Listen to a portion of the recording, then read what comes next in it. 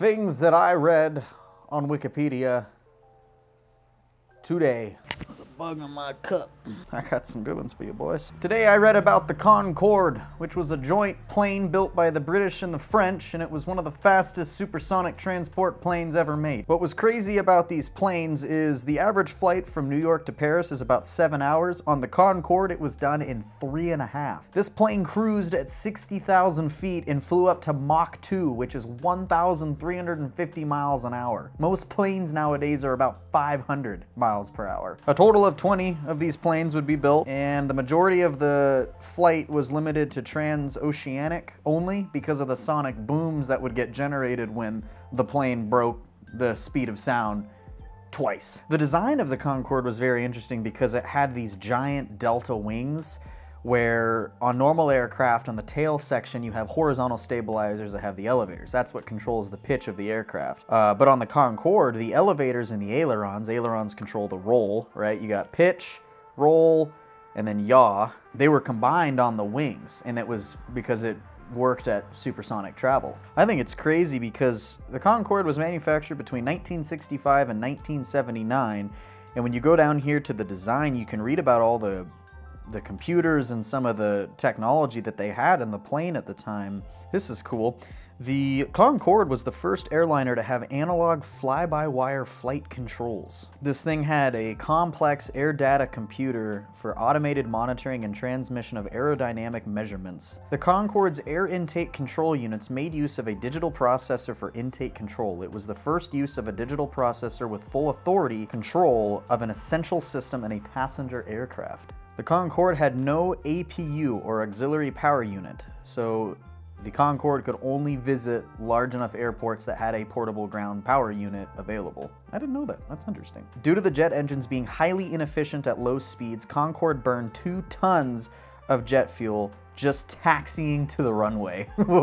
Due to the high thrust produced with the engines at idle, only the two outer engines were to run after landing for easier taxing and less brake pad wear. Interesting. Air compression on the outer surfaces caused the skin of the aircraft to heat up during supersonic flight. Every surface, such as windows and panels, were warmed to the touch by the end of the flight.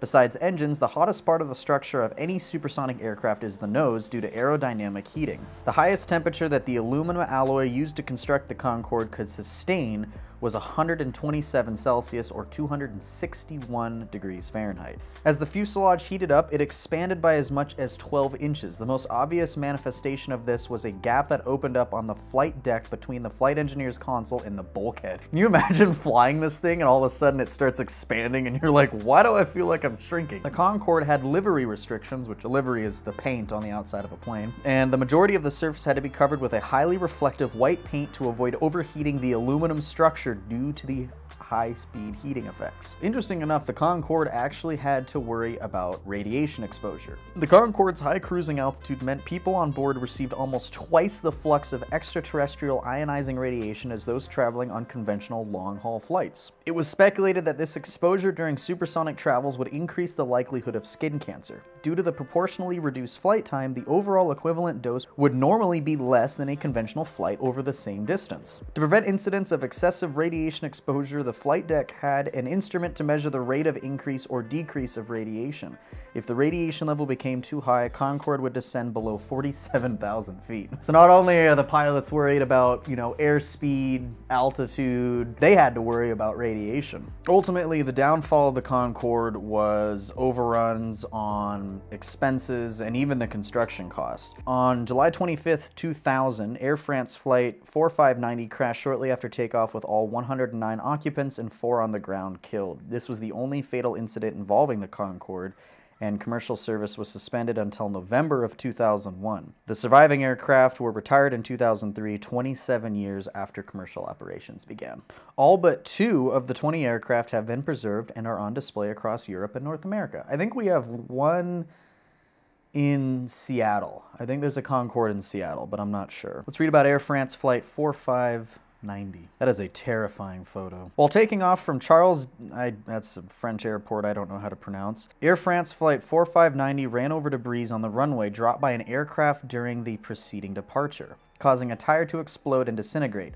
Tire fragments launched upwards at great speed by the rapidly spinning wheel violently struck the underside of the wing, damaging parts of the landing gear, thus preventing its retraction, and causing an integral fuel tank to rupture. Large amounts of fuel leaking from the rupture ignited, causing a loss of thrust in the left-hand side engines 1 and 2. The aircraft lifted off, but the loss of thrust, high drag from the extended landing gear, and fire damage to the flight controls made it impossible to maintain control. The jet crashed into a hotel nearby two minutes after takeoff.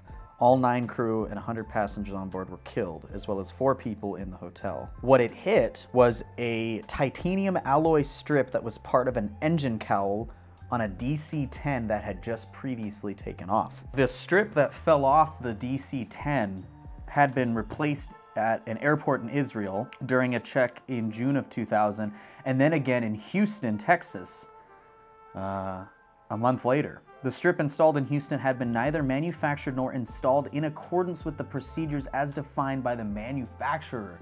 What? In 2008, a deputy prosecutor asked judges to bring manslaughter charges against Continental Airlines and its two employees, the mechanic who replaced the wear strip on the DC-10 and the mechanic's manager, alleging negligence in the way the repair was carried out. Continental Airlines, of course, denied the charges and the claim and the claim in court that it was being used as a scapegoat by the BEA, which is the Bureau of Inquiry and Analysis for Civil Aviation Safety. Uh, at the same time, charges were laid out against the head of the Concorde program, the Concorde's chief engineer, the head of the DGAC, which is the Director, Directorate General for Civil Aviation in France. It alleged that the, these people knew that the plane's fuel tanks could be susceptible to damage from foreign objects, but, none, but nonetheless allowed it to fly. Hmm. Continental Airlines was found criminally responsible for the disaster and was fined $271,000 in order to pay Air France 1 million pounds. Pounds? Whatever that symbol is. As for the other people, everyone was cleared of charges pretty much, except the mechanic that replaced the wear strip was given a 15 month suspended sentence. Oh, the convictions were overturned by an appeals court in November of 2012, thereby clearing Continental and the mechanic of criminal responsibility. So, so this was in 1979, almost 20 years before that. The number five and six tires blew out during takeoff in Washington. Fragments thrown from the tires and rim damaged the number two engine and punctured three fuel tanks, severed several hydraulic lines and electrical wires, and tore a large hole in the top of the wing over the wheel well. Another blown tire incident, another blown tire incident, another blown tire incident. In 1988, one of the tires one of the wheels lost 10 bolts and a fuel tank was punctured. Another tire burst, another tire burst. Because Concorde was a tailless delta wing aircraft, again, designed due to supersonic requirements, Concorde could not use the normal flaps or slats to assist takeoff and landing and required a significantly higher air and tire speed during takeoff roll than an average airliner. The higher speed increased the risk of tire burst during takeoff. Okay. There's been a ton of documentaries, so if you didn't learn enough from me, you can go and watch these or, you know, whatever. Hey, I read that on Wikipedia. Wild stuff, dude. Thanks for watching. If you like this video, I'm gonna do more of these probably where I just sit somewhere in the world and read. So if you know any cool topics that are worth talking about, post them down below. I'll probably read them. Damn tractor driving by.